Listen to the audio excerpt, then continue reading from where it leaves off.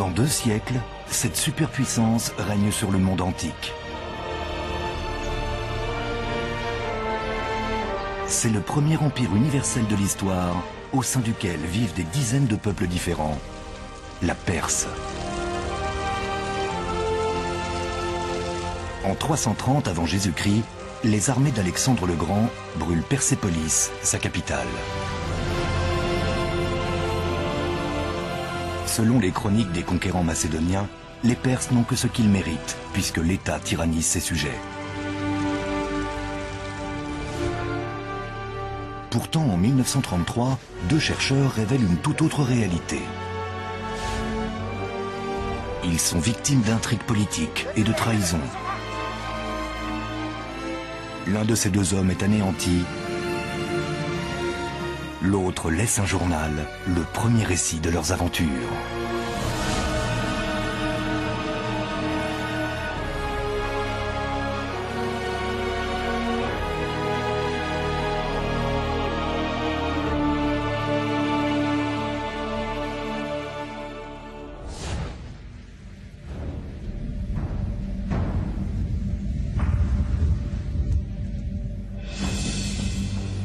Sommes au sud de la Perse au printemps 1929.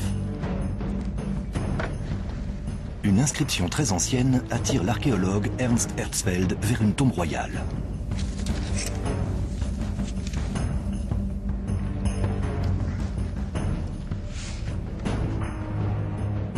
Herzfeld, qui est le plus éminent spécialiste de la Perse en Allemagne, vient lire le testament du roi Darius le Grand.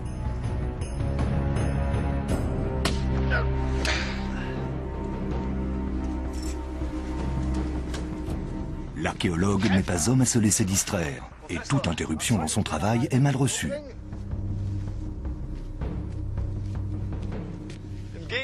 Même si le dîner promet d'être délicieux.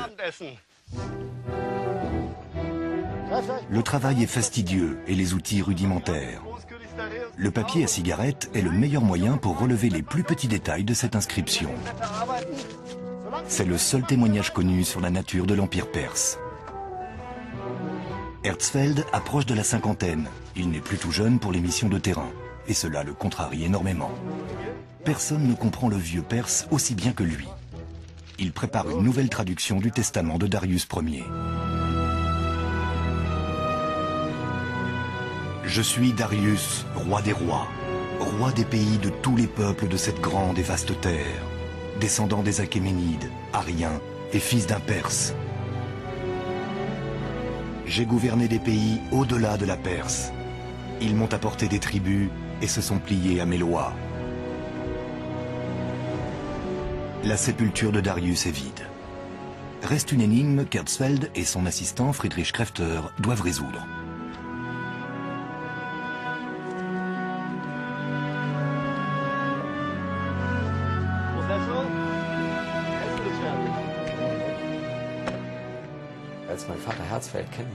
Quand mon père a rencontré Herzfeld, celui-ci était déjà un archéologue expérimenté et renommé, un grand spécialiste de l'Orient. Et mon père, jeune architecte berlinois, l'admirait. Il disait toujours que l'étendue des connaissances d'Herzfeld était tout à fait fascinante. Krefter se plonge dans les livres sur l'Antiquité pour être à la hauteur du travail qui l'attend. Les historiens grecs y décrivent les Perses comme des tyrans non civilisés.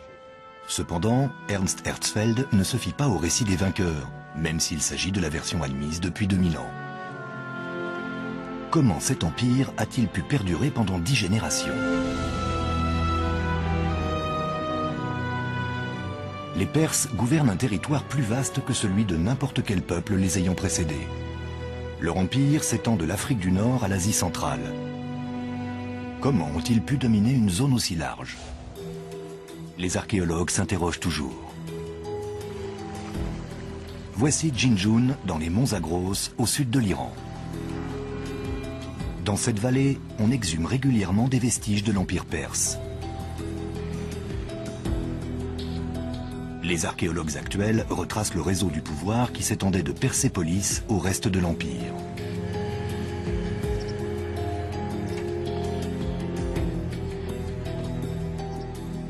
Une équipe de l'université de Sydney est autorisée à faire des fouilles. Tous doivent respecter les codes vestimentaires de la République islamique d'Iran. Amanda Dusting et ses collègues mettent au jour des vestiges impressionnants, mais l'ancien nom du lieu est encore inconnu. Certains indices laissent à penser que ce village n'a pas surgi ici par hasard. La taille monumentale des murs que nous avons découverts indique qu'il doit s'agir d'un édifice important. Et si c'est le cas, on peut espérer qu'il ait reçu des visiteurs royaux. Ce devait être une étape royale dans la région. Ou peut-être qu'une garnison militaire y stationnait.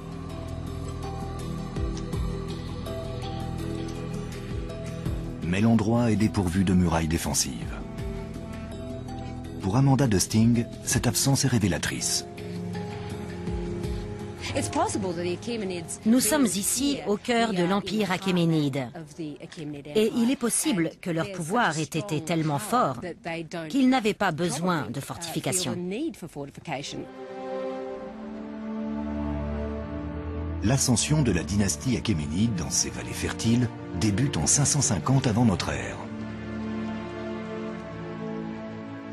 Le sol de la région est arrosé toute l'année par l'eau provenant de la fonte des neiges des montagnes alentours. Pendant longtemps, les Perses sont restés à demi nomades et descendaient dans les vallées pour y passer l'hiver. Jusqu'au jour où ils se sont fixés et ont bâti un empire.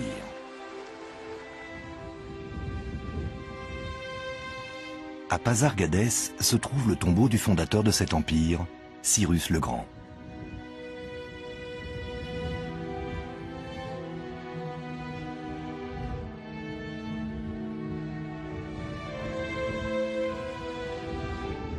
Voici peut-être son portrait, usé par les siècles.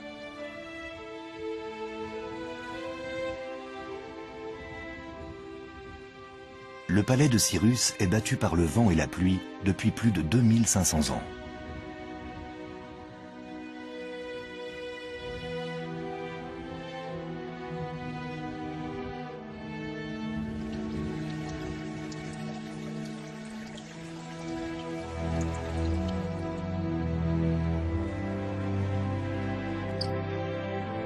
En 1929, Ernst Herzfeld sent qu'il y a urgence.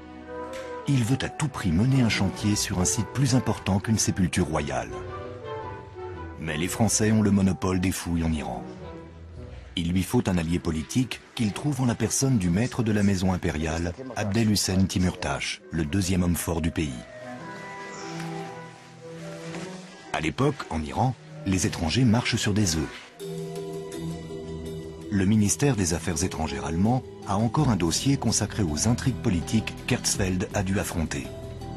Dans les années 1920 et 1930, toutes les grandes puissances tentent d'asseoir leur influence sur cet Iran si riche en pétrole.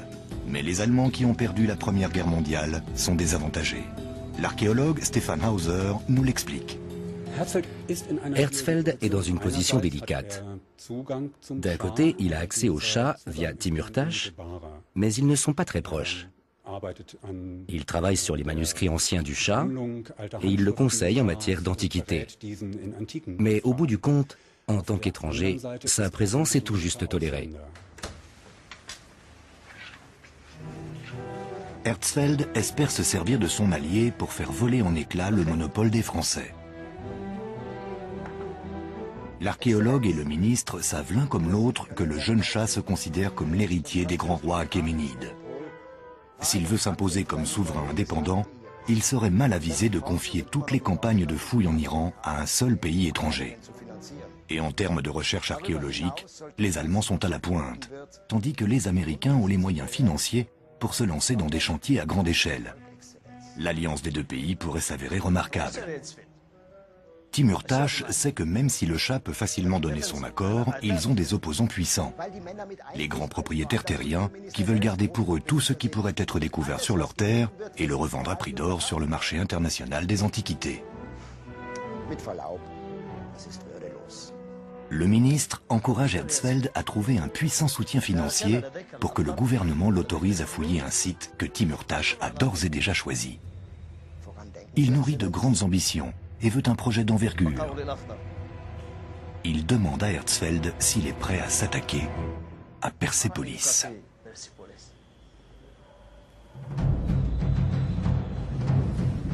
Persépolis. Dans l'Antiquité, les Grecs la surnomment l'épicentre de la décadence. C'est l'Orient dans toute sa splendeur. Depuis qu'elle a été détruite par Alexandre le Grand, il ne subsiste que quelques colonnes de la grande cité. Les gens qui vivent dans les environs croient que les ruines sont habitées par des démons.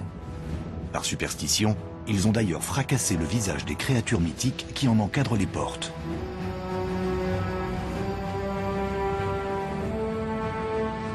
Des visiteurs européens ont gravé leur nom dans la pierre, en une pâle imitation des récits des rois perses.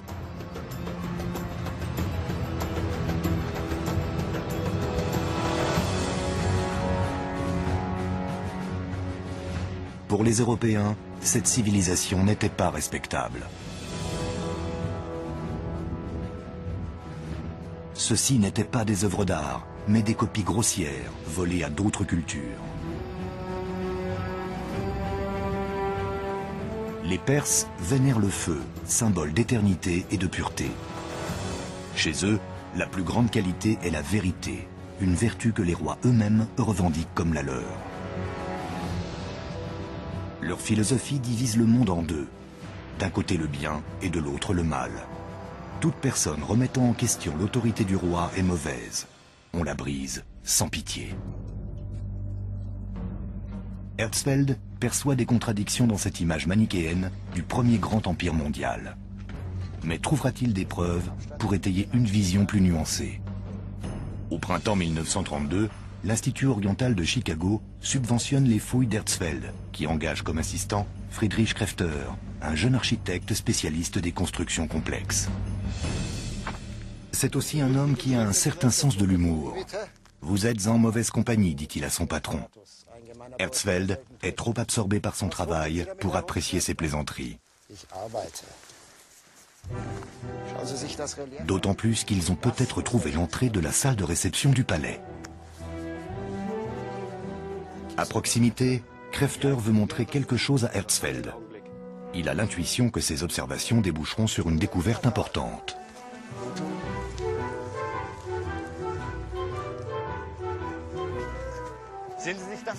Mais l'éminent archéologue n'est pas du tout impressionné. Un trou dans le sol, Krefter croit qu'il a peut-être trouvé l'entrée d'une galerie secrète. Son patron lui rétorque qu'il ne s'agit que d'une partie du système de canalisation.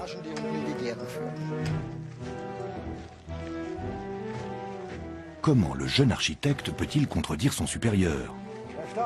Quant à Herzfeld, il est sous pression. Le chat s'impatiente et les Américains veulent des résultats. Krefter préfère ne rien entreprendre sans l'aval d'Herzfeld. Va-t-il passer à côté d'une découverte importante? Il se sent sous-estimé, mais il n'en fait part qu'à son journal.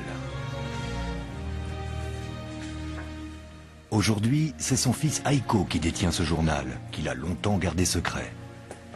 On y suit l'évolution des rapports entre son père et Herzfeld pendant les fouilles de Persépolis.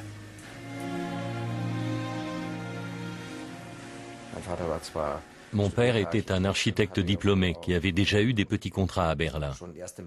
Mais l'Iran était un tout nouveau champ d'expérience pour lui. Herzfeld était son mentor, son professeur. Le côté positif, c'est qu'Herzfeld le prenait pour son protégé.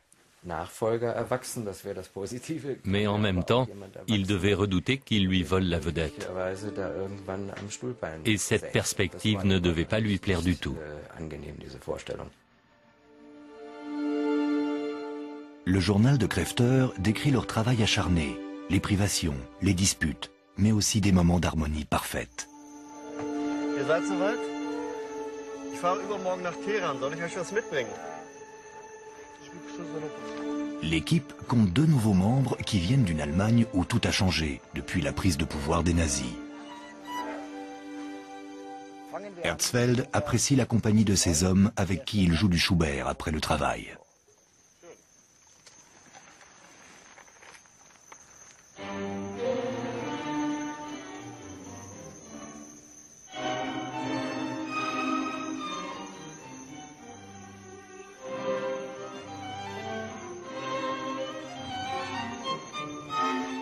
Alexander Langsdorff est un fervent nazi et un raciste convaincu. Herzfeld, qui est d'origine juive, est horrifié par ces idées. Le discret Karl Bergner, le dessinateur de l'équipe, est juif lui aussi. Entre eux, l'harmonie ne règne que le soir, lorsque nous jouons pour les esprits de Persépolis, écrit Krefter dans son journal. Après de longues semaines de travail fastidieux, ils font une découverte spectaculaire. Un relief du palais montrant les peuples des provinces perses apportant des tribus au roi. Guidés par la main des hommes de cour, les ambassadeurs s'avancent, chargés de métaux précieux et accompagnés d'animaux exotiques. Chaque cadeau montre toute la grandeur de l'Empire et son étendue. À l'apogée de la Perse, les artisans et les artistes des quatre coins de l'Empire sont très demandés dans la capitale. Tous prennent part à une gigantesque machine administrative, Persépolis.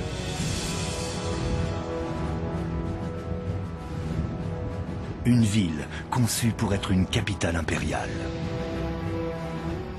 Son point central est un gigantesque complexe palatin construit sur plusieurs niveaux, sur une terrasse monumentale de 135 000 mètres carrés, soit quatre fois et demi l'acropole d'Athènes.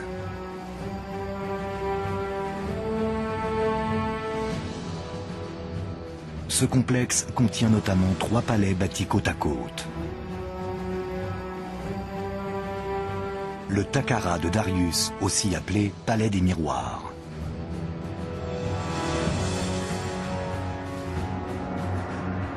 L'Apadana, où il reçoit les notables.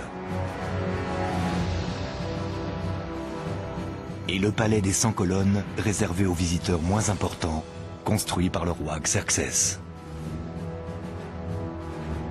La lumière jaillit du toit, à 20 mètres du sol. Tout sujet qui entre ici doit être impressionné et intimidé. Darius le Grand et ses successeurs prennent ce qu'il y a de meilleur chez chacun de leur peuple et créent ainsi un style que l'on appellera plus tard l'art perse. Mais voici le vrai ciment de l'Empire. L'écriture.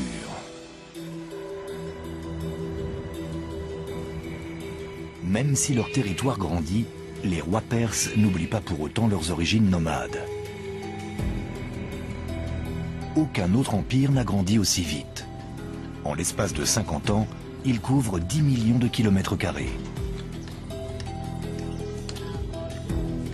Peu nombreux, les Perses doivent garder le contrôle de cet immense territoire.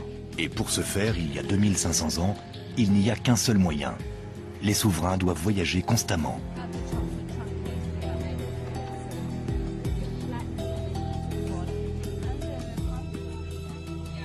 Ici, à Jinjun, à 200 km de Persépolis, l'équipe de l'université de Sydney dégage un édifice imposant.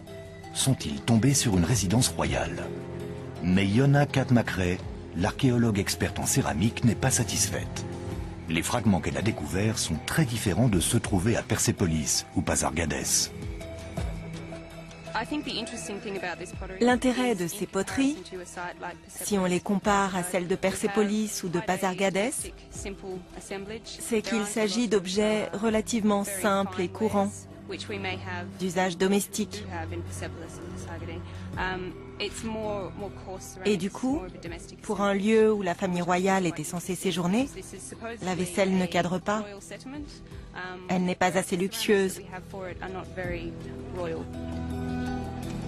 Il y a peut-être une raison à cela. Si l'équipe n'a trouvé aucun objet de valeur, c'est peut-être parce que le roi emportait avec lui tout ce dont il avait besoin. Depuis ses couverts en argent jusqu'à ses cruches en or massif.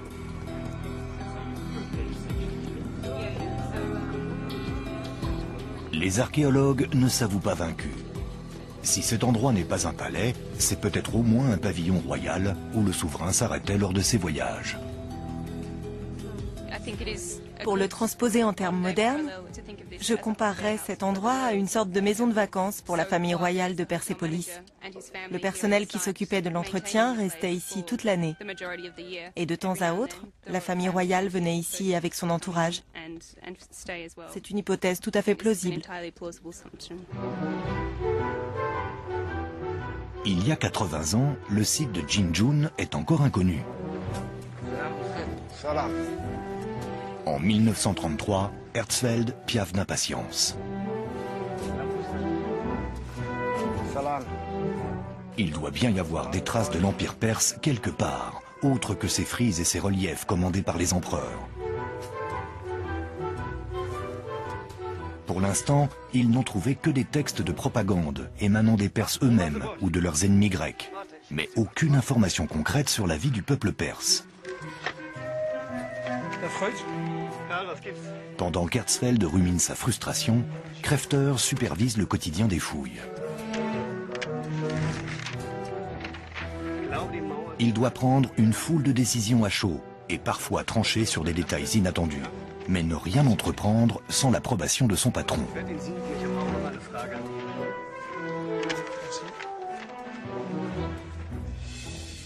Jusqu'au jour où ils font une découverte déterminante.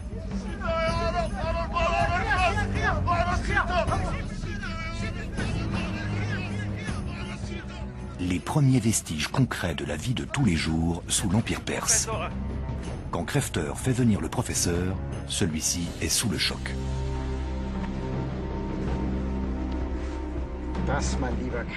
L'archéologue annonce solennellement à son assistant qu'ils ont dégagé la mémoire de Persépolis. Persépolis. 30 litres de seigle pour l'administrateur Zakama, notifié le cinquième mois de l'an 22. Ils ont trouvé une salle d'archives du palais qui renferme plus de 30 000 tablettes d'argile, des contrats de travail, des reçus, des registres de livraison. Aujourd'hui encore, à Chicago, des spécialistes travaillent à les déchiffrer. Une caméra spécifique, dotée de 22 objectifs, capte la moindre marque ou trace d'encre. Voici en 3D le sceau des autorités du palais,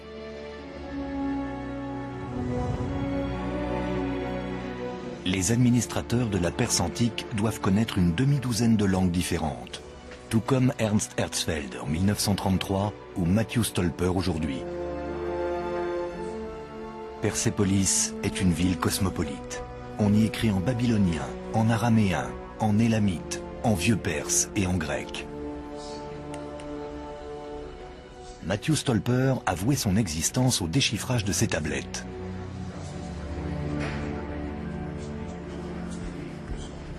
Aujourd'hui, il transmet ses connaissances à ses étudiants. Ce qu'il sait de la vie quotidienne au temps de l'Empire perse. Ce qui est gravé sur ces tablettes veut littéralement dire ce qu'on y lit. Contrairement au relief sculpté, il ne s'agit pas d'une mise en scène où un personnage costumé et chargé de bijoux serait suivi d'une foule de serviteurs. Sur ces tablettes, on constate que telle ou telle personne entretient toute une maisonnée, dans laquelle il existe une hiérarchie qui reflète celle de la cour royale. Les textes permettent aussi d'en apprendre plus sur les objets.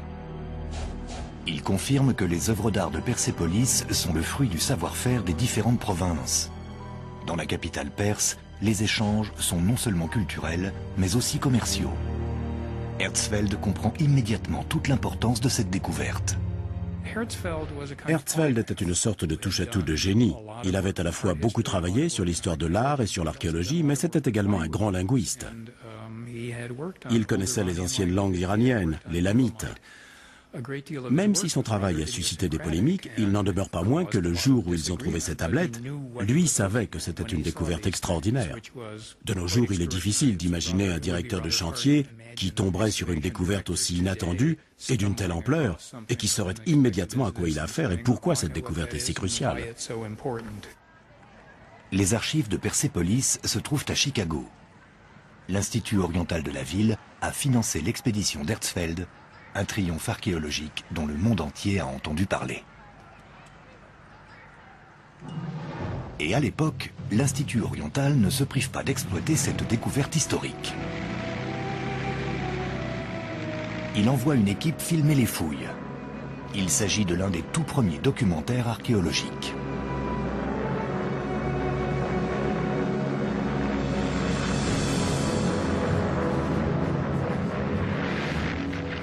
C'est aussi le sommet de la carrière d'Ernst Herzfeld. Mais il n'aura guère le temps d'en profiter.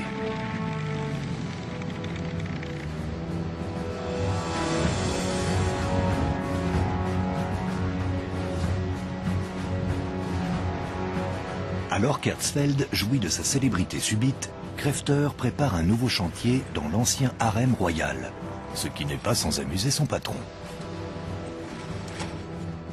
C'est hilarant. Nous cherchons à faire le plan d'un bordel élégant, écrit Herzfeld dans un télégramme adressé à l'ambassade allemande.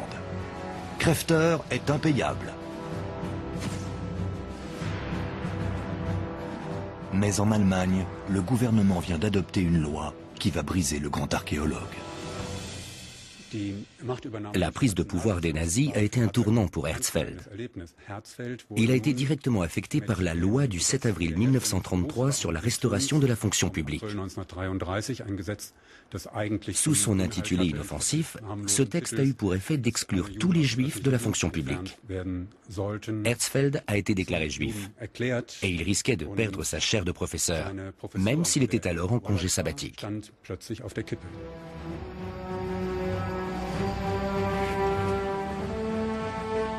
Alors qu'il fait le tour de Persépolis avec des visiteurs importants, Herzfeld parvient encore à faire bonne figure.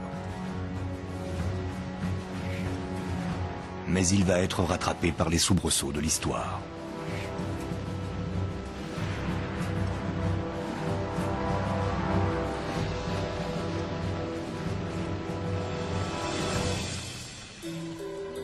Les techniques de base pour les fouilles n'ont pas beaucoup changé en 80 ans. Et tout comme en 1930, l'archéologie touche encore à des sujets politiques sensibles. Elle qui se penche souvent sur les mythes et les identités nationales. Heureusement, les relations entre les autorités iraniennes et l'équipe australienne sont bonnes.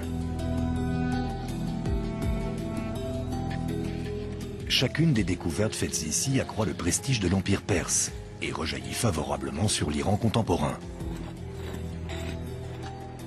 En analysant les composants chimiques d'échantillons de terre, Amanda Dusting et son équipe savent où creuser pour faire d'autres découvertes passionnantes.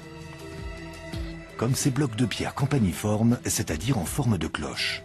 Ils sont finement sculptés et mesurent un mètre et demi de diamètre. Il s'agit de la base des colonnes que les rois perses dressaient dans leur palais.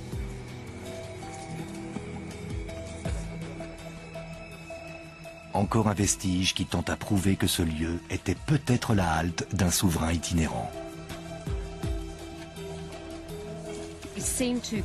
Elles paraissent similaires à celles de Persépolis. Si elles proviennent des mêmes carrières, cela signifie que nous avons affaire à une structure de très grande importance dont la construction a nécessité le transport de blocs extrêmement imposants. Les colonnes en elles-mêmes mesuraient probablement entre 8 et 10 mètres. Imaginez, la structure s'appuyait sur une terrasse et faisait 10 mètres de haut. C'est énorme.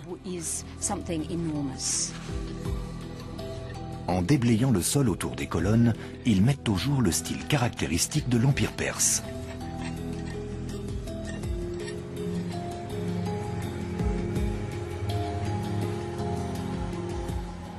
Le plan de cet édifice est encore à déterminer. Mais je suis convaincu que c'est une construction achéménide, car l'architecture et la sculpture correspondent au style propre à la Perse. Même s'ils se sont inspirés de l'étranger, ils ont créé leur propre style. Et je ne vois vraiment pas ce qu'il a de barbare.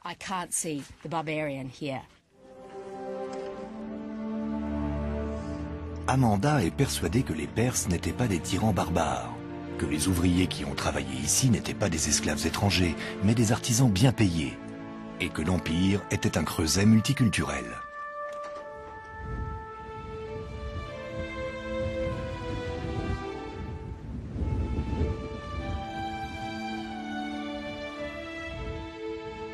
Mais en 1933, le multiculturalisme n'est pas du tout dans l'air du temps. Krefter note dans son journal que le climat vénéneux qui règne en Allemagne a contaminé Persépolis.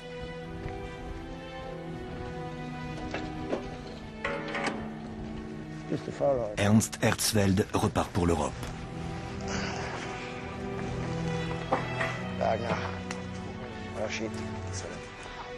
Il a besoin d'argent. L'Amérique est en pleine Grande Dépression. L'institut qui finance le chantier leur coupe les vivres et les fouilles risquent d'être abandonnées. Herzfeld va perdre sa chaire de professeur à Berlin. Cette éviction lui est littéralement insupportable. Krefter ne comprend pas ce que traverse son mentor. Il se sent livré à lui-même en Iran.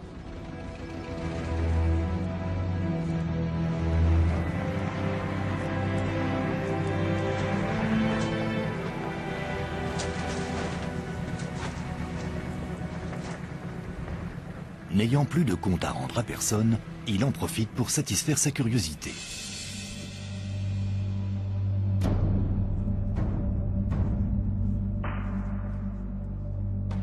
Cet étrange trou au palais. Herzfeld a jugé que c'était une simple canalisation, mais en tant qu'architecte, Krefter pense qu'il s'agit d'autre chose.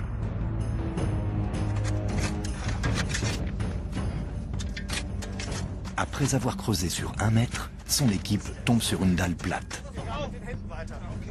Les hommes se pressent autour du trou, alors qu'on dégage les contours d'un coffre de pierre.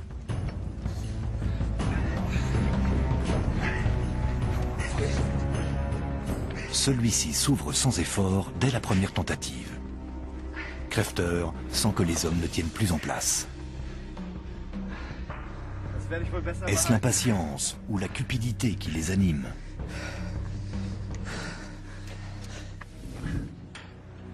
Ce que Krefter met au jour est le trésor le plus précieux et le mieux gardé du Musée national d'Iran à Téhéran. Une plaque de 5 kilos d'or pur.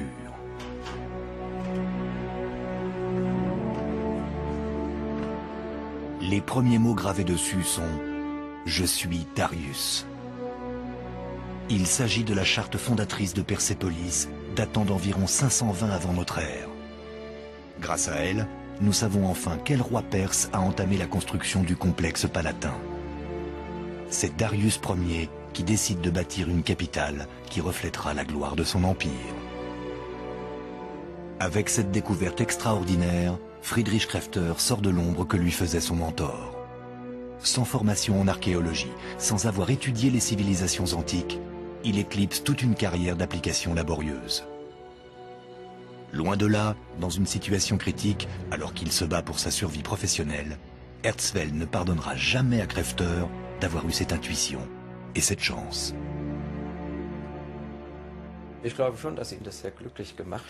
Je pense qu'il était très heureux. Ça doit être formidable d'être le premier à avoir entre les mains un objet que le roi Darius est sans doute le dernier à avoir vu, 2500 ans plus tôt. Mon père était plutôt du genre réservé, même dans des moments comme celui-là. Voilà ce qu'il a écrit dans son journal. Aujourd'hui, une bonne étoile brillait sur Persépolis. Nous avons découvert la charte fondatrice de la cité. Et c'est tout.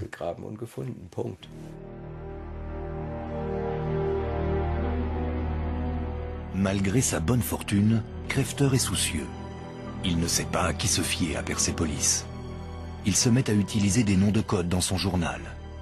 Quelqu'un y apparaît sous le nom de Spray. Pendant longtemps, je ne comprenais pas qui c'était, jusqu'à ce que, grâce à d'autres documents, je déduise que Spray était un nom de code pour Herzfeld.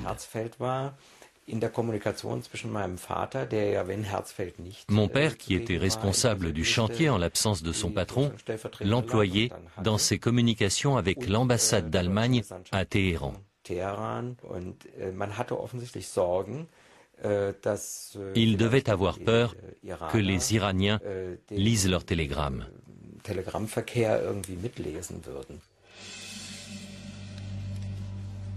Leurs craintes sont fondées. Alors qu'Herzfeld veut quitter l'Iran, son voyage prend un tour dramatique à la frontière avec l'Irak. L'archéologue l'ignore encore, mais il n'a plus aucun appui au sein de la cour du Shah. Son protecteur, le ministre Timurtash, est tombé en disgrâce. Et les manières brusques d'Herzfeld ont offensé trop d'hommes puissants. Les grands propriétaires terriens d'Iran ont des comptes à régler avec l'archéologue, car par le passé, il les a accusés de voler les trésors de leur pays. Il a aussi fait interdire le trafic illégal d'objets anciens. Et pour ses ennemis, c'est la goutte qui a fait déborder le vase.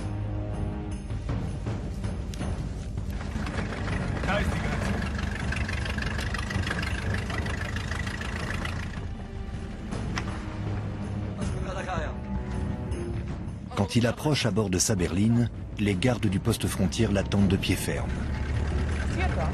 Son chauffeur a beau être sur ses gardes, Herzfeld ne s'attend pas à subir autre chose que les contrôles d'usage.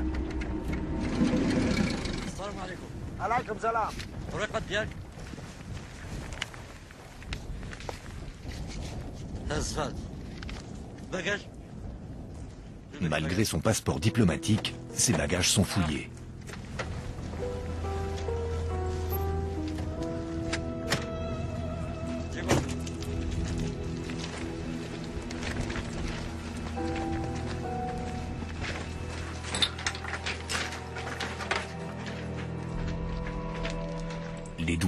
Ont l'air de savoir exactement ce qu'ils cherchent.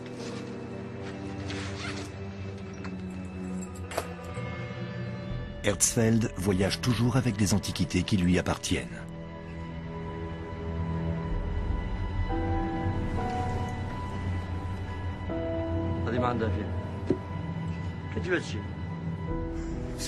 Lors de la fouille, l'archéologue perd patience et menace de déclencher un scandale à la cour du chat. Enfin.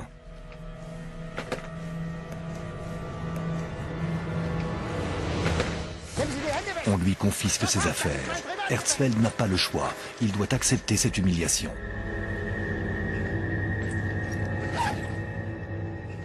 Il est autorisé à poursuivre sa route, mais le piège tendu par ses ennemis se referme sur lui. Il a beau prouver ensuite que les objets confisqués n'ont rien à voir avec Persepolis, le mal est fait.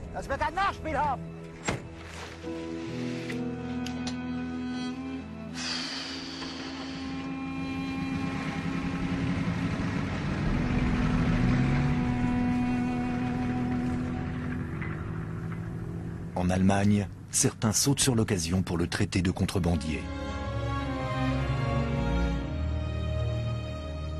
Des universitaires jaloux n'hésitent pas à déclarer que sa conduite est typique d'un juif international qui trafique des œuvres d'art à l'échelle mondiale. Son ancien collègue rentré en Allemagne, Alexander Langsdorff, l'accable lui aussi.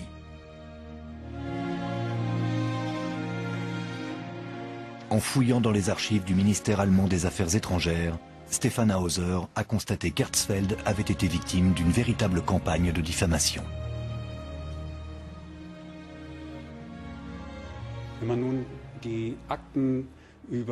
Quand on étudie le dossier de son exclusion de l'université, il est embarrassant de constater que les collègues d'Herzfeld ont pris leur revanche.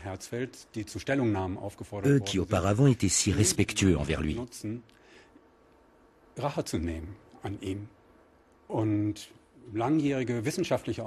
Les vieilles rivalités universitaires ont débordé sur la sphère politique. Le régime s'en est servi pour calomnier Herzfeld et mettre fin à sa carrière de professeur en Allemagne.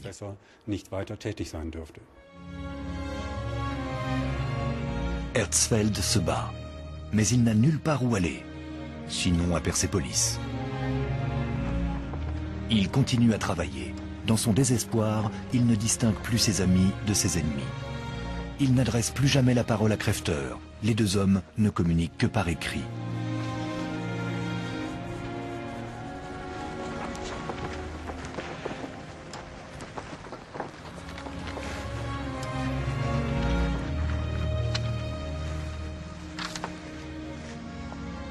Pour sa part, Crèveteur estime que son ancien patron s'est servi de lui en refusant de reconnaître son rôle dans leur découverte commune. Désormais, c'est Crèveteur qui dirige les fouilles.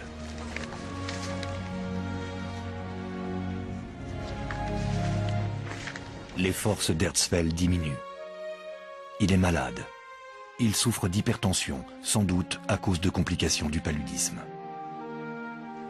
Herzfeld pense que son ancien assistant veut prendre le pouvoir, qu'il le trahit et complote derrière son dos. Crèveteur lui adresse une lettre de démission polie, mais pleine de récriminations amères. La déception de mon père transparaît dans sa lettre. Il commençait à comprendre qu'Herzfeld s'était servi de lui. Malgré ses promesses, Herzfeld ne l'avait jamais soutenu ni promu. Il avait le sentiment d'avoir été exploité.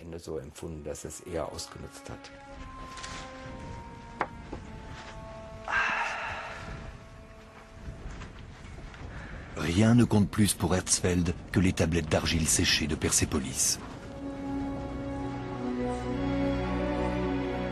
Elle nous livre encore des secrets aujourd'hui. Depuis des années, Matthew Stolper y croise un nom de lieu inconnu, un palais qui n'a jamais été localisé, l'Iduma. Sa description est incroyablement proche des vestiges mis au jour à Jinjun par l'équipe australienne. Dans les 3000 ou 4000 premières tablettes étudiées, nous avons rencontré le nom de l'Iduma de 85 à 90 fois.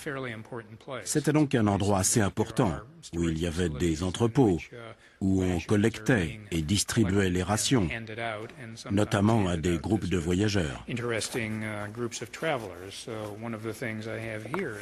J'ai ici une série de tablettes qui mentionnent ce lieu, qui se trouvait très certainement sur la route de Persépolis à Suse.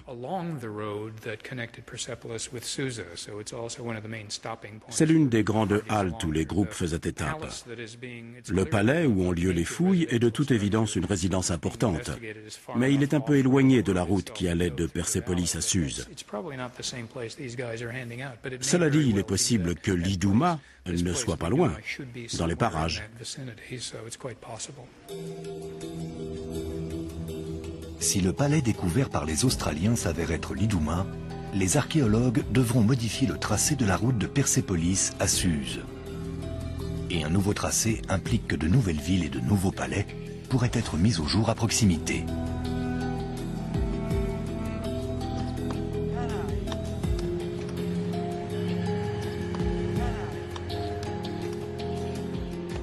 Cependant, la tâche peut prendre des dizaines d'années, car la saison propice aux fouilles est courte. Ici, à Jinjun, l'équipe fera bientôt ses bagages.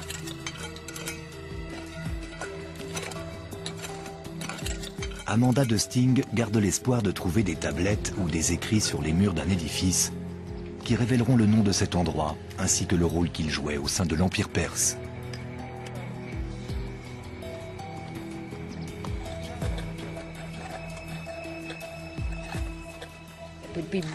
Ce serait formidable si on trouvait une inscription. En grec ou en écriture cunéiforme qui nous donnerait une indication sur cet endroit. Que cette inscription nous révèle son nom ou nous confirme qu'il s'agit d'un lieu dont parlent certains textes. Ce serait extraordinaire. Ou même qu'elle fasse référence à un souverain ou une divinité précise l'Empire perse recèle encore bien des mystères. Mais il y a une certitude. Les tablettes d'Herzfeld prouvent que le réseau commercial de l'Empire était crucial pour sa cohésion. Yonakat Makre en est convaincu. Une administration stricte était le ciment de la Perse. Elle rêve de faire une découverte semblable à celle d'Herzfeld. J'aimerais tellement trouver des tablettes d'argile un jour. Lors de ma toute première campagne de fouilles ici, j'ai dit que j'en trouverais, mais pour l'instant rien. Et si c'était précisément l'absence de tablettes et d'objets précieux qui nous en apprenait le plus sur la nature de l'Empire? Ce serait la preuve qu'il était extrêmement centralisé, avec une capitale et des cités satellites construites sur mesure.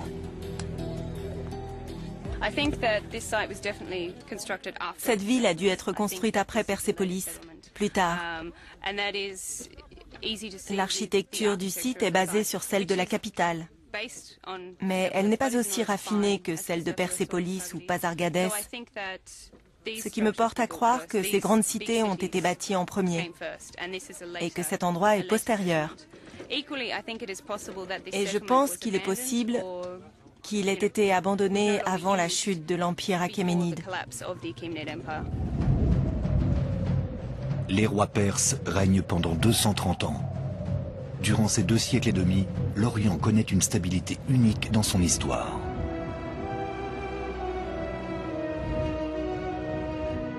Les ruines des grandes cités perses et les tablettes mises au jour par Herzfeld nous révèlent directement qui étaient ces hommes et quelles étaient leur idéologie, leur politique et leur religion.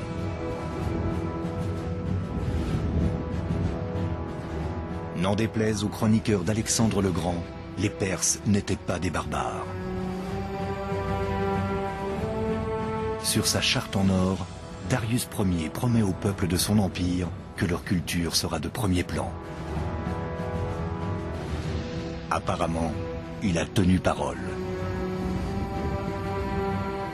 Aujourd'hui, nous ne pouvons que deviner les raffinements de la culture perse. En dehors des ruines, des tablettes et de la plaque d'or, peu de choses ont échappé aux flammes allumées par Alexandre en 330 avant Jésus-Christ. Selon Ernst Herzfeld, cet incendie marque la fin d'une ère.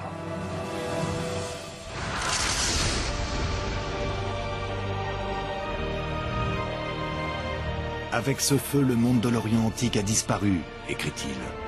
Ce fut une chute magnifique.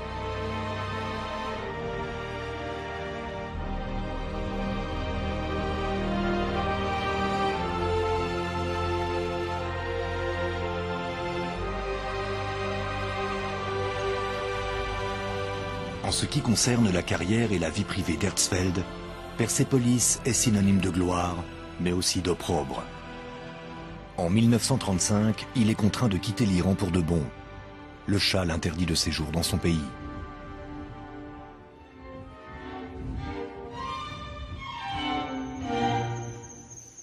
Herzfeld n'a nulle part où aller. Il est brisé.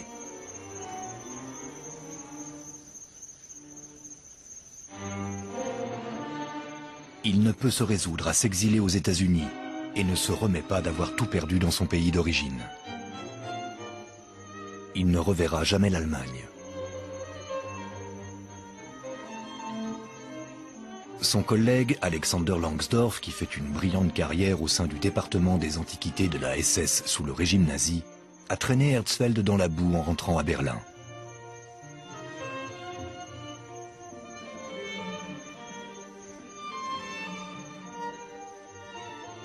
Karl Bergner, le dessinateur, n'a nulle part où fuir. En tant que juif, il est terrifié à l'idée de retourner en Allemagne. À la fin de la campagne de fouilles, il se suicide. Herzfeld ne l'apprendra sans doute jamais. Et il ne croisera jamais plus Friedrich Krefter, son collègue le plus proche.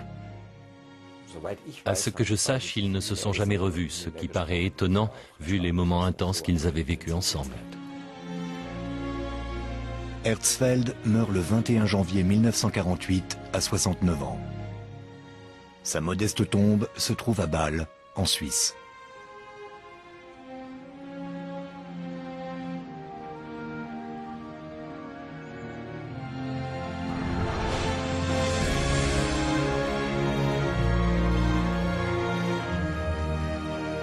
Un seul membre de l'expédition allemande des années 1930 reverra l'Iran.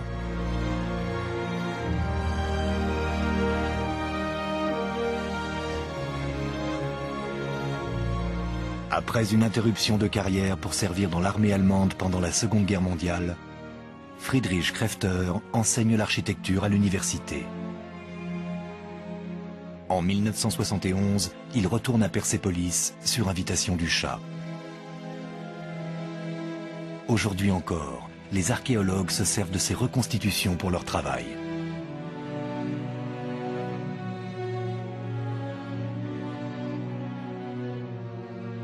40 ans après la dernière visite de Krefter à Persépolis, un ultime héritage fait surface. Son journal, l'unique source apolitique de l'époque, témoignage des événements qui ont déchiré deux chercheurs passionnés à Persépolis.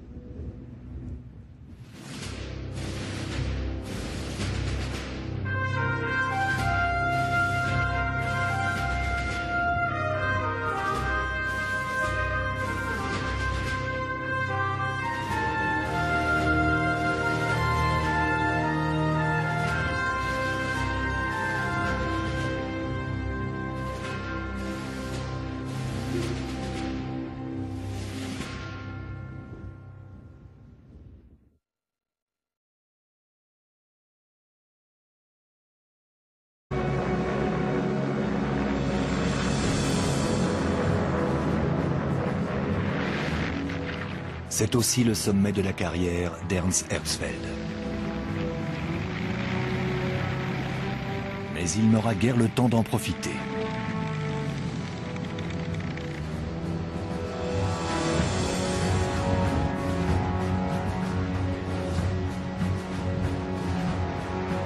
Alors qu'Herzfeld jouit de sa célébrité subite, Krefter prépare un nouveau chantier dans l'ancien harem royal, ce qui n'est pas sans amuser son patron. C'est hilarant. Nous cherchons à faire le plan d'un bordel élégant, écrit Herzfeld dans un télégramme adressé à l'ambassade allemande. Krefter est impayable. Mais en Allemagne, le gouvernement vient d'adopter une loi qui va briser le grand archéologue. La prise de pouvoir des nazis a été un tournant pour Herzfeld. Il a été directement affecté par la loi du 7 avril 1933 sur la restauration de la fonction publique. Sous son intitulé inoffensif, ce texte a eu pour effet d'exclure tous les juifs de la fonction publique. Herzfeld a été déclaré juif et il risquait de perdre sa chaire de professeur, même s'il était alors en congé sabbatique.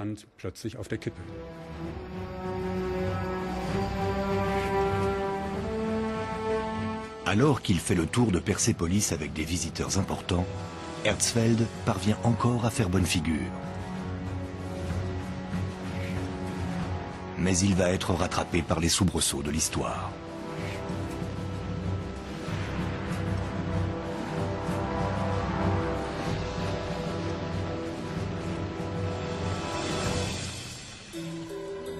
Les techniques de base pour les fouilles n'ont pas beaucoup changé en 80 ans. Et tout comme en 1930, l'archéologie touche encore à des sujets politiques sensibles. Elle qui se penche souvent sur les mythes et les identités nationales. Heureusement, les relations entre les autorités iraniennes et l'équipe australienne sont bonnes. Chacune des découvertes faites ici accroît le prestige de l'Empire perse et rejaillit favorablement sur l'Iran contemporain. En analysant les composants chimiques d'échantillons de terre, Amanda Dusting et son équipe savent où creuser pour faire d'autres découvertes passionnantes. Comme ces blocs de pierre campaniformes, c'est-à-dire en forme de cloche. Ils sont finement sculptés et mesurent un mètre et demi de diamètre. Il s'agit de la base des colonnes que les rois perses dressaient dans leur palais.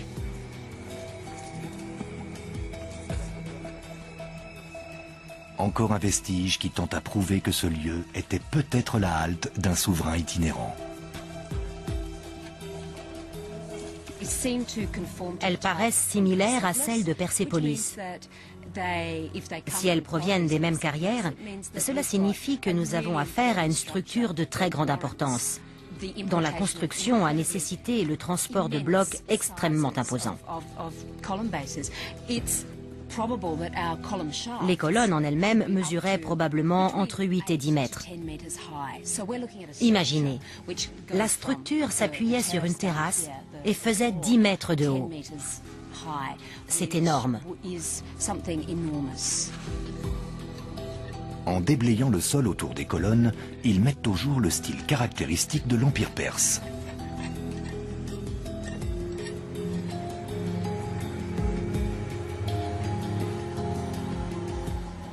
Le plan de cet édifice est encore à déterminer. Mais je suis uh, convaincu que c'est une construction achéménide, uh, car l'architecture et la sculpture correspondent au style propre à la uh, Perse. Même s'ils se sont inspirés de l'étranger, ils ont créé leur propre style. Et je ne vois vraiment pas ce qu'il a de barbare.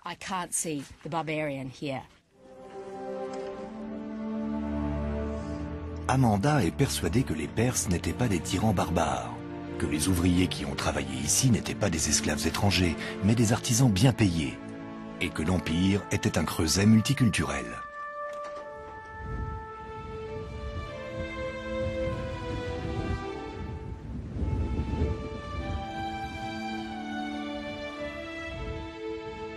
Mais en 1933, le multiculturalisme n'est pas du tout dans l'air du temps. Krefter note dans son journal que le climat vénéneux qui règne en Allemagne a contaminé Persépolis.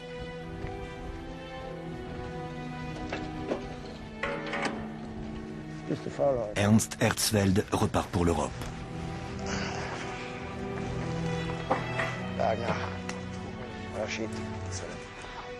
Il a besoin d'argent. L'Amérique est en pleine Grande Dépression. L'institut qui finance le chantier leur coupe les vivres et les fouilles risquent d'être abandonnées.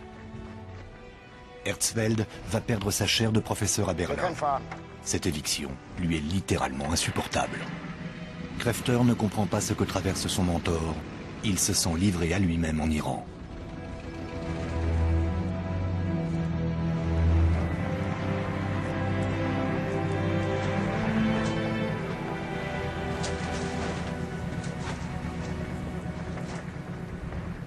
N'ayant plus de compte à rendre à personne, il en profite pour satisfaire sa curiosité.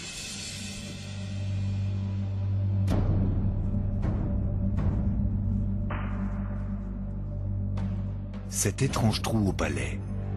Herzfeld a jugé que c'était une simple canalisation, mais en tant qu'architecte, Krefter pense qu'il s'agit d'autre chose.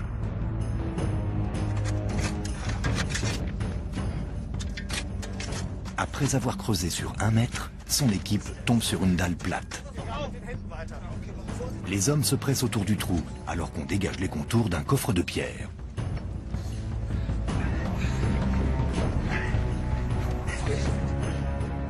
Celui-ci s'ouvre sans effort dès la première tentative. Krefter sent que les hommes ne tiennent plus en place. Est-ce l'impatience ou la cupidité qui les anime?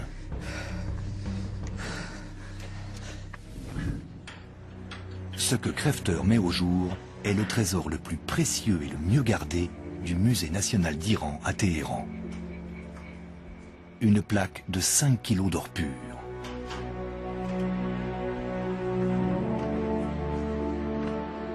Les premiers mots gravés dessus sont « Je suis Darius ».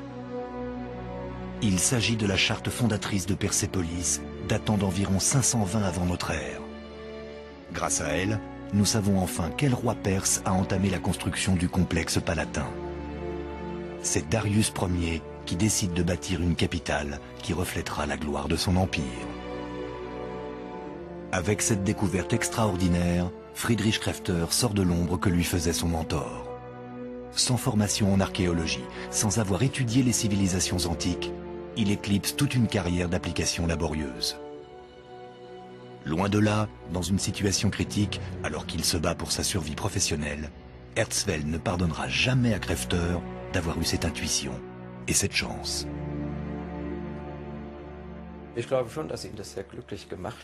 Je pense qu'il était très heureux. Ça doit être formidable d'être le premier à avoir entre les mains un objet que le roi Darius est sans doute le dernier à avoir vu. L'étranger allemand a encore un dossier consacré aux intrigues politiques qu'Herzfeld a dû affronter. Dans les années 1920 et 1930, toutes les grandes puissances tentent d'asseoir leur influence sur cet Iran si riche en pétrole. Mais les Allemands qui ont perdu la Première Guerre mondiale sont désavantagés. L'archéologue Stefan Hauser nous l'explique. Herzfeld est dans une position délicate. D'un côté, il a accès au chat via Timurtash, mais ils ne sont pas très proches. Il travaille sur les manuscrits anciens du chat et il le conseille en matière d'antiquité. Mais au bout du compte, en tant qu'étranger, sa présence est tout juste tolérée. Herzfeld espère se servir de son allié pour faire voler en éclats le monopole des Français. L'archéologue et le ministre savent l'un comme l'autre que le jeune chat se considère comme l'héritier des grands rois achéménides. S'il veut s'imposer comme souverain indépendant, il serait mal avisé de confier toutes les campagnes de fouilles en Iran à un seul pays étranger. Et en termes de recherche archéologique, les Allemands sont à la pointe, tandis que les Américains ont les moyens financiers pour se lancer dans des chantiers à grande échelle. L'alliance des deux pays pourrait s'avérer remarquable. Timur Tash sait que même si le chat peut facilement donner son accord, ils ont des opposants puissants. Les grands propriétaires terriens qui veulent garder pour eux tout ce qui pourrait être découvert sur leur terre et le revendre à prix d'or sur le marché international des antiquités. Le ministre encourage Herzfeld à trouver un puissant soutien financier pour que le gouvernement l'autorise à fouiller un site que Timur Tash a d'ores et déjà choisi. Il nourrit de grandes ambitions et veut un projet d'envergure. Il demande à Herzfeld s'il est prêt à s'attaquer à Persépolis.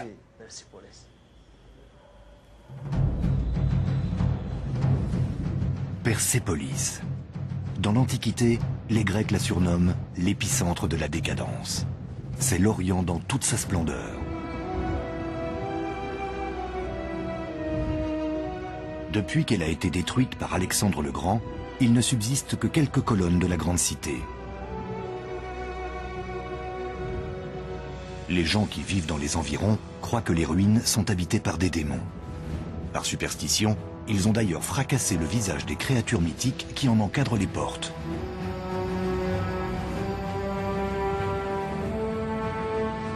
Des visiteurs européens ont gravé leur nom dans la pierre, en une pâle imitation des récits des rois perses.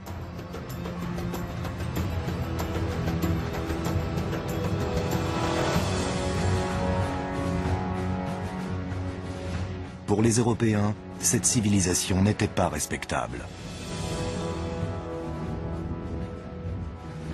Ceci n'étaient pas des œuvres d'art, mais des copies grossières, volées à d'autres cultures.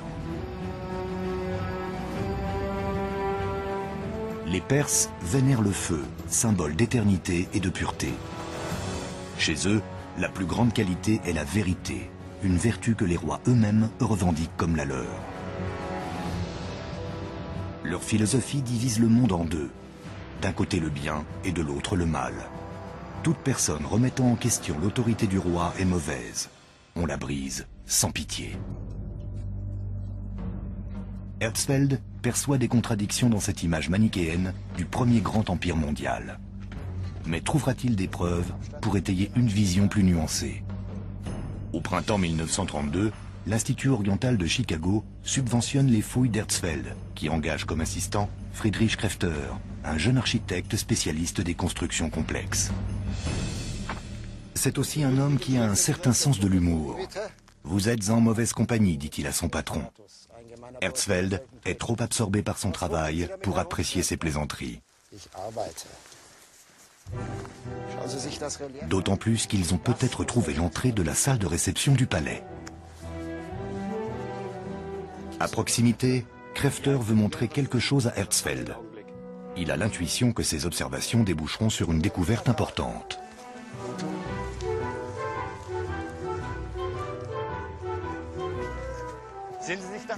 Mais l'éminent archéologue n'est pas du tout impressionné.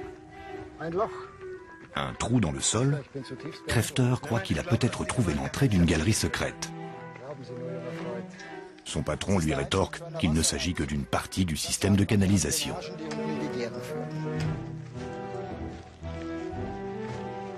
Comment le jeune architecte peut-il contredire son supérieur? Quant à Herzfeld, il est sous pression. Le chat s'impatiente et les Américains veulent des résultats. Krefter préfère ne rien entreprendre sans l'aval d'Herzfeld. Va-t-il passer à côté d'une découverte importante? Il se sent sous-estimé, mais il n'en fait part qu'à son journal. Aujourd'hui, c'est son fils Aiko qui détient ce journal, qu'il a longtemps gardé secret. On y suit l'évolution des rapports entre son père et Herzfeld pendant les fouilles de Persépolis.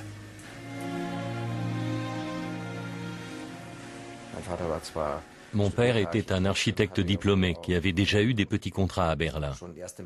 Mais l'Iran était un tout nouveau champ d'expérience pour lui. Herzfeld était son mentor, son professeur. Le côté positif, c'est qu'Herzfeld le prenait pour son protégé. Mais en même temps, il devait redouter qu'il lui vole la vedette. Et cette perspective ne devait pas lui plaire du tout. Le journal de Krefter décrit leur travail acharné, les privations, les disputes, mais aussi des moments d'harmonie parfaite. Ich fahre übermorgen nach Teheran. Soll ich euch was mitbringen? L'équipe compte deux nouveaux membres qui viennent d'une Allemagne où tout a changé depuis la prise de pouvoir des nazis.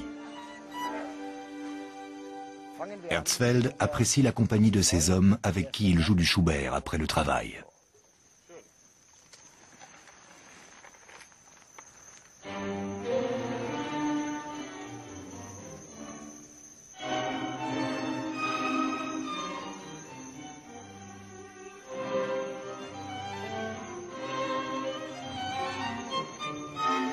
Alexander Langsdorff est un fervent nazi et un raciste convaincu. Herzfeld, qui est d'origine juive, est horrifié par ses idées. Le discret Karl Bergner, le dessinateur de l'équipe, est juif lui aussi.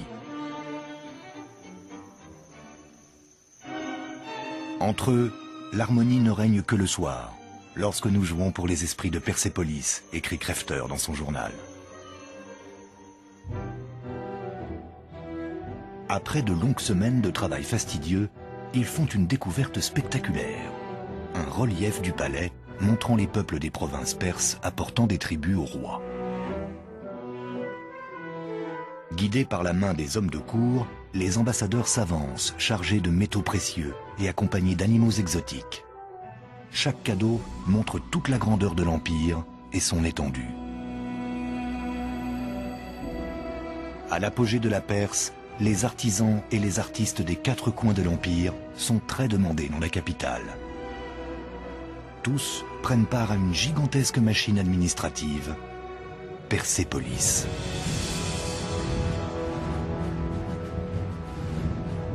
Une ville conçue pour être une capitale impériale. Son point central est un gigantesque complexe palatin construit sur plusieurs niveaux, sur une terrasse monumentale de 135 000 mètres carrés, soit quatre fois et demi l'acropole d'Athènes.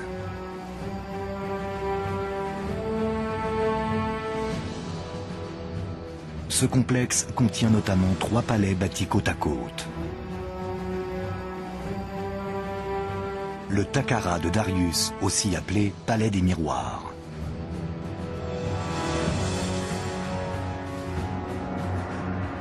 L'Apadana, où il reçoit les notables. Et le palais des 100 colonnes, réservé aux visiteurs moins importants, construit par le roi Xerxès. La lumière jaillit du toit, à 20 mètres du sol. Tout sujet qui entre ici doit être impressionné et intimidé. Darius le Grand et ses successeurs prennent ce qu'il y a de meilleur chez chacun de leur peuple et créent ainsi un style que l'on appellera plus tard l'art perse. Mais voici le vrai ciment de l'Empire. L'écriture.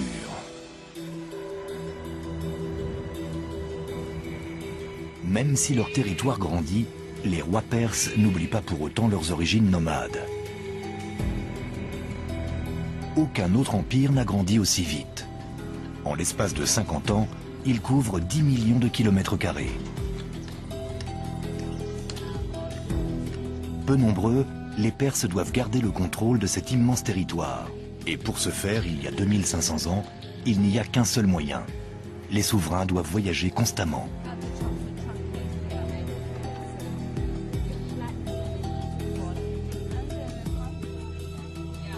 Ici, à Jinjun, à 200 km de Persépolis, l'équipe de l'université de Sydney dégage un édifice imposant. Sont-ils tombés sur une résidence royale? Mais Yona Katmakre, l'archéologue experte en céramique, n'est pas satisfaite. Les fragments qu'elle a découverts sont très différents de ceux trouvés à Persépolis ou Pasargades. L'intérêt de ces poteries, si on les compare à celles de Persépolis ou de Pasargades, c'est qu'il s'agit d'objets relativement simples et courants, d'usage domestique. Et du coup, pour un lieu où la famille royale était censée séjourner, la vaisselle ne cadre pas. Elle n'est pas assez luxueuse. Il y a peut-être une raison à cela. Si l'équipe n'a trouvé aucun objet de valeur, c'est peut-être parce que le roi a emporté avec lui tout ce dont il avait besoin. Depuis ses couverts en argent jusqu'à ses cruches en or massif.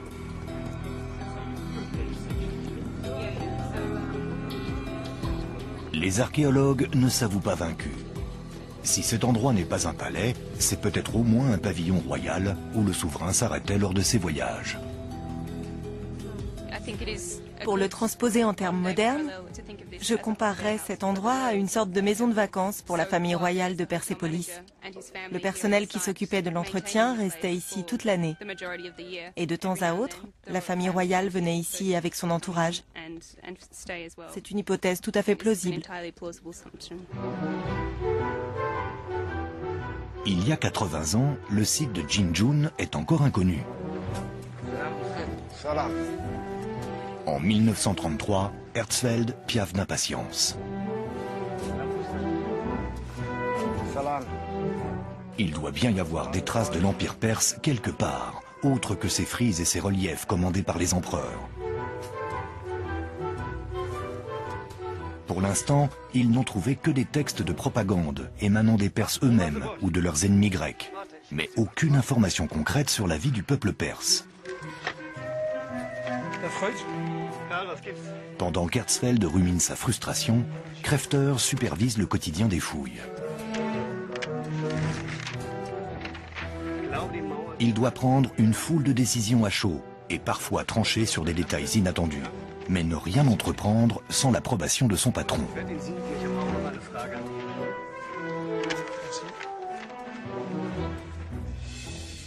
Jusqu'au jour où ils font une découverte déterminante.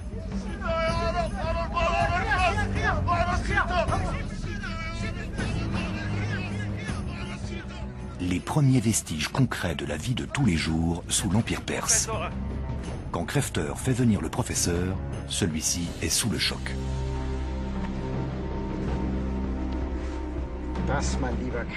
L'archéologue annonce solennellement à son assistant qu'ils ont dégagé la mémoire de Persépolis. Persépolis. 30 litres de seigle pour l'administrateur Zakama, notifié le cinquième mois de l'an 22. Ils ont trouvé une salle d'archives du palais qui renferme plus de 30 000 tablettes d'argile, des contrats de travail, des reçus, des registres de livraison. Aujourd'hui encore, à Chicago, des spécialistes travaillent à les déchiffrer. Une caméra spécifique, dotée de 22 objectifs, capte la moindre marque ou trace d'encre, voici en 3D le sceau des autorités du palais.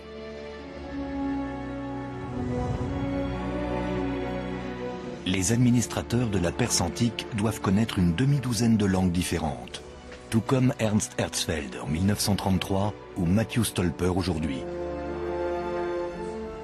Persépolis est une ville cosmopolite. On y écrit en babylonien, en araméen, en élamite, en vieux perse et en grec. Matthew Stolper a voué son existence au déchiffrage de ces tablettes.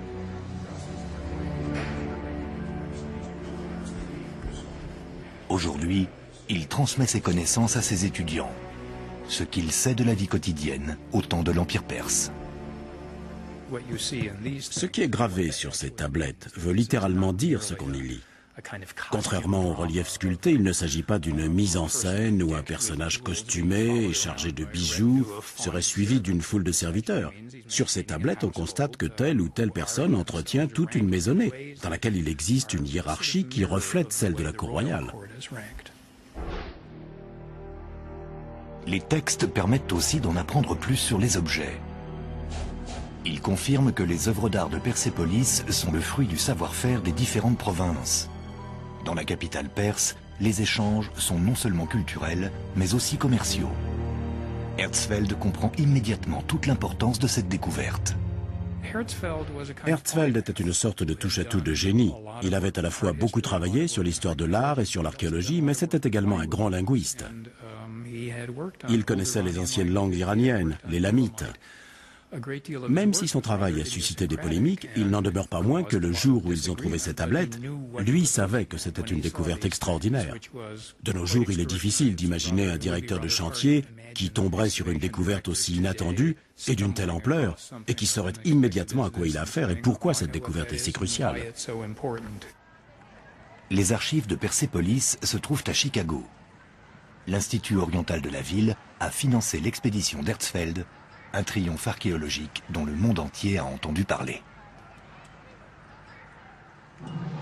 Et à l'époque, l'Institut oriental ne se prive pas d'exploiter cette découverte historique.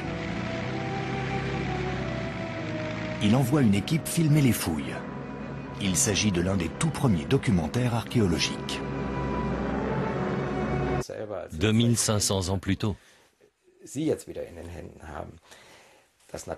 Mon père était plutôt du genre réservé, même dans des moments comme celui-là. Voilà ce qu'il a écrit dans son journal. Aujourd'hui, une bonne étoile brillait sur Persépolis. Nous avons découvert la charte fondatrice de la cité. Et c'est tout.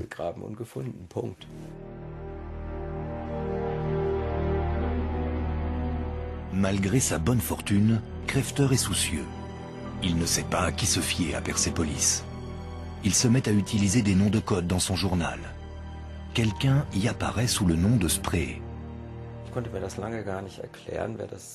Pendant longtemps, je ne comprenais pas qui c'était, jusqu'à ce que, grâce à d'autres documents, je déduise que Spray était un nom de code pour Herzfeld.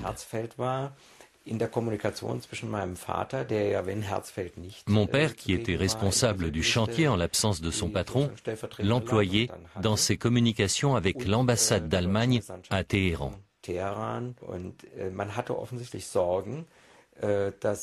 Il devait avoir peur que les Iraniens lisent leurs télégrammes.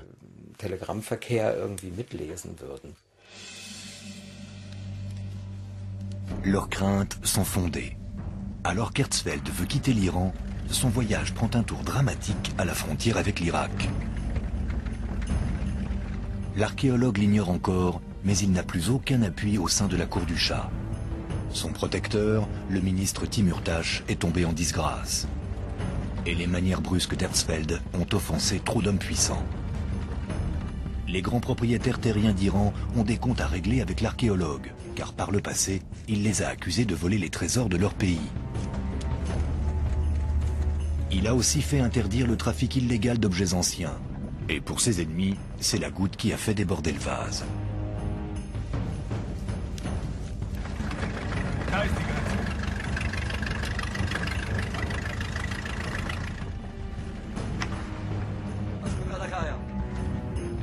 Quand il approche à bord de sa berline, les gardes du poste frontière l'attendent de pied ferme. Son chauffeur a beau être sur ses gardes, Herzfeld ne s'attend pas à subir autre chose que les contrôles d'usage.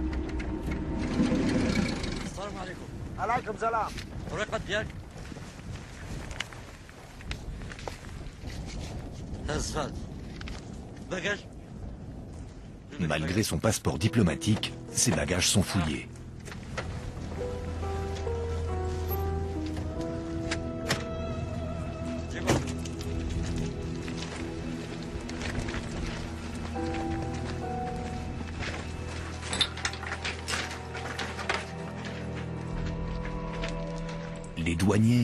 Savoir exactement ce qu'ils cherchent.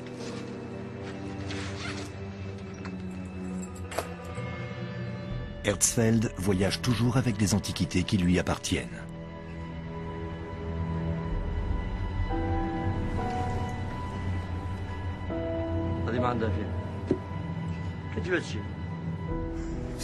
Lors de la fouille, l'archéologue perd patience et menace de déclencher un scandale à la cour du chat.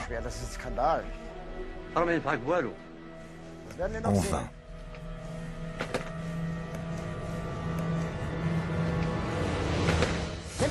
On lui confisque ses affaires. Herzfeld n'a pas le choix. Il doit accepter cette humiliation.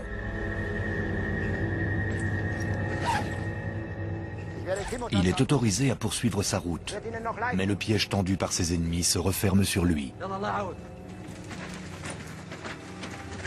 Il a beau prouver ensuite que les objets confisqués n'ont rien à voir avec Persepolis, le mal est fait.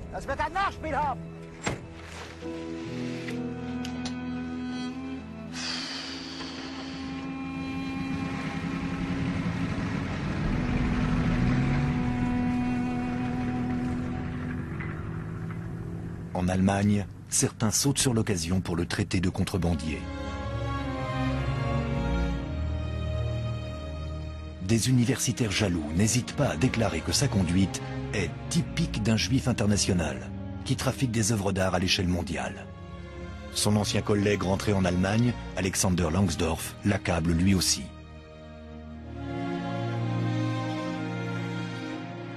En fouillant dans les archives du ministère allemand des Affaires étrangères, Stefan Hauser a constaté qu'Herzfeld avait été victime d'une véritable campagne de diffamation.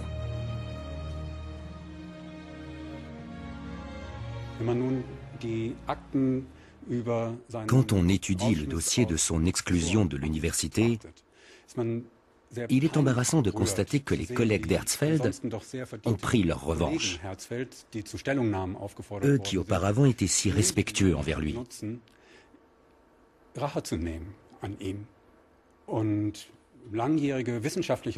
Les vieilles rivalités universitaires ont débordé sur la sphère politique. Le régime s'en est servi pour calomnier Herzfeld et mettre fin à sa carrière de professeur en Allemagne.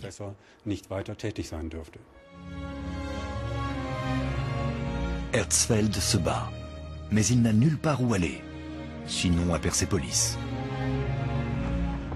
Il continue à travailler. Dans son désespoir, il ne distingue plus ses amis de ses ennemis. Il n'adresse plus jamais la parole à Crèveteur. Les deux hommes ne communiquent que par écrit.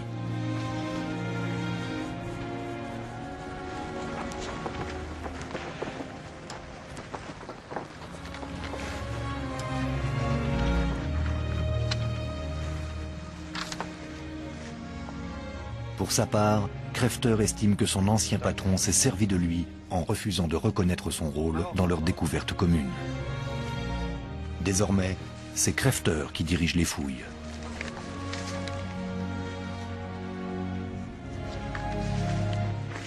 Les forces d'Herzfeld diminuent. Il est malade. Il souffre d'hypertension, sans doute à cause de complications du paludisme. Herzfeld pense que son ancien assistant veut prendre le pouvoir, qu'il le trahit et complote derrière son dos.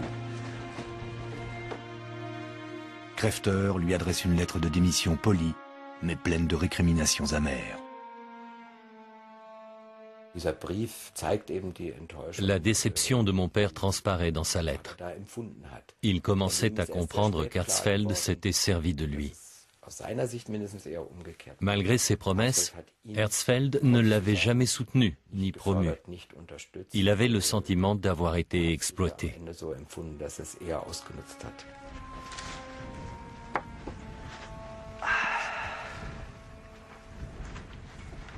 Rien ne compte plus pour Herzfeld que les tablettes d'argile séchées de Persépolis. Elle nous livre encore des secrets aujourd'hui. Depuis des années, Matthew Stolper y croise un nom de lieu inconnu, un palais qui n'a jamais été localisé, l'Iduma. Sa description est incroyablement proche des vestiges mis au jour à Jinjun par l'équipe australienne. Dans les 3000 ou 4000 premières tablettes étudiées, nous avons rencontré le nom de l'Iduma de 85 à 90 fois. C'était donc un endroit assez important, où il y avait des entrepôts, où on collectait et distribuait les rations, notamment à des groupes de voyageurs. J'ai ici une série de tablettes qui mentionnent ce lieu, qui se trouve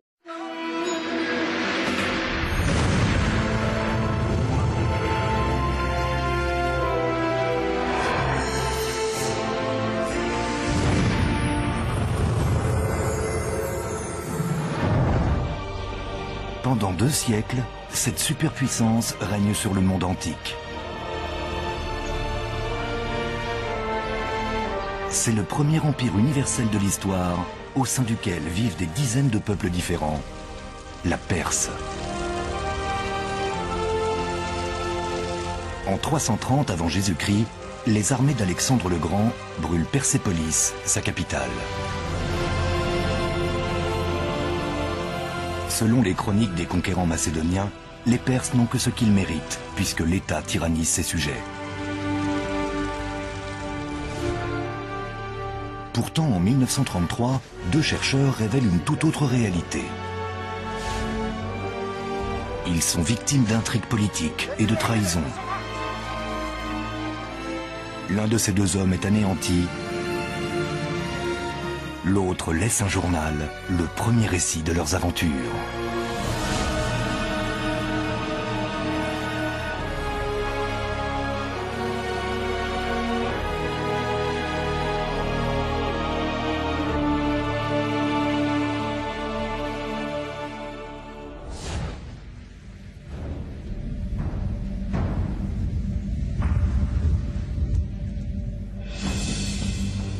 Sommes au sud de la Perse au printemps 1929. Une inscription très ancienne attire l'archéologue Ernst Herzfeld vers une tombe royale.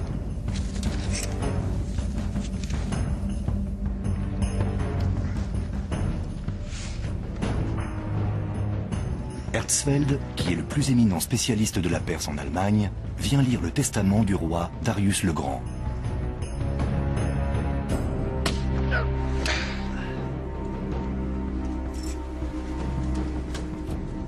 L'archéologue n'est pas homme à se laisser distraire, et toute interruption dans son travail est mal reçue.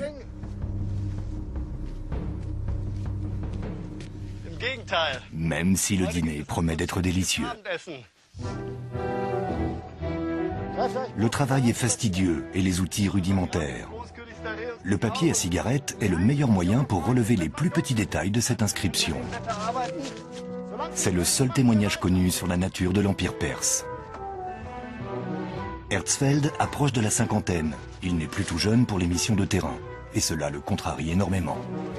Personne ne comprend le vieux perse aussi bien que lui. Il prépare une nouvelle traduction du testament de Darius Ier.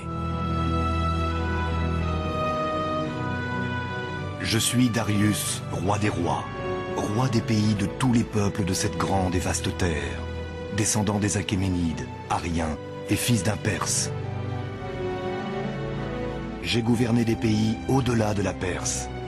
Ils m'ont apporté des tribus et se sont pliés à mes lois. La sépulture de Darius est vide. Reste une énigme qu'Herzfeld et son assistant Friedrich Krefter doivent résoudre.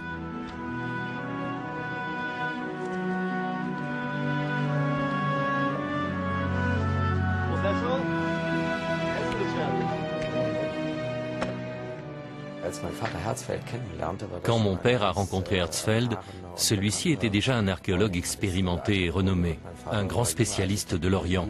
Et mon père, jeune architecte berlinois, l'admirait. Il disait toujours que l'étendue des connaissances d'Herzfeld était tout à fait fascinante. Krefter se plonge dans les livres sur l'Antiquité pour être à la hauteur du travail qui l'attend. Les historiens grecs y décrivent les Perses comme des tyrans non civilisés. Cependant, Ernst Herzfeld ne se fie pas au récit des vainqueurs, même s'il s'agit de la version admise depuis 2000 ans. Comment cet empire a-t-il pu perdurer pendant dix générations? Les Perses gouvernent un territoire plus vaste que celui de n'importe quel peuple les ayant précédés. Leur empire s'étend de l'Afrique du Nord à l'Asie centrale. Comment ont-ils pu dominer une zone aussi large Les archéologues s'interrogent toujours.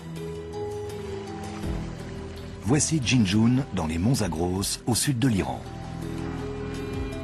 Dans cette vallée, on exhume régulièrement des vestiges de l'Empire perse. Les archéologues actuels retracent le réseau du pouvoir qui s'étendait de Persépolis au reste de l'Empire.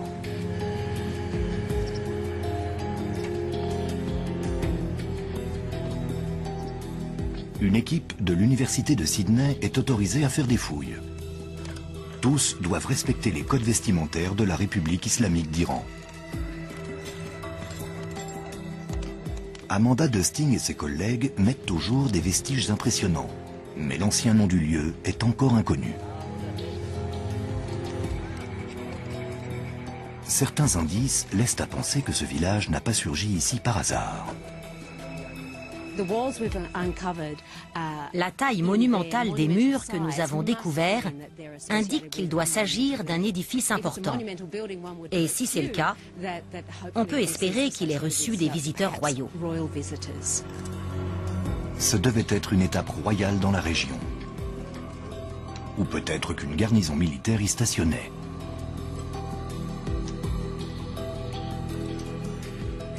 Mais l'endroit est dépourvu de murailles défensives. Pour Amanda Dusting, cette absence est révélatrice.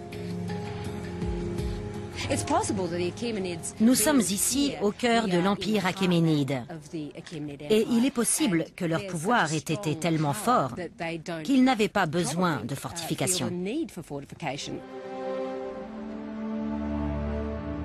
L'ascension de la dynastie achéménide dans ces vallées fertiles débute en 550 avant notre ère.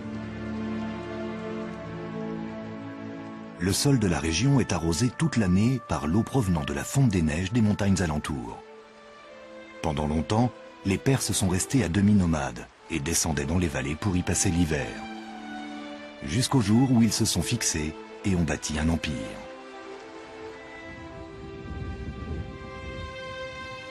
À Pasargades se trouve le tombeau du fondateur de cet empire, Cyrus le Grand.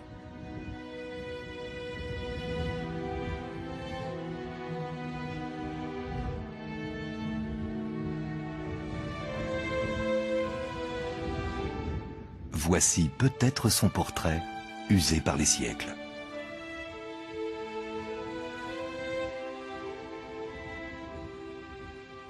Le palais de Cyrus est battu par le vent et la pluie depuis plus de 2500 ans.